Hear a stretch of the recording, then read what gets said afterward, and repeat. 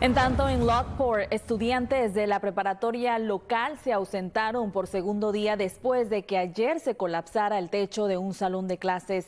Los alumnos de primer grado asistieron a clases de manera remota. Como reportamos ayer, un maestro encontró que el techo se había derrumbado en un salón.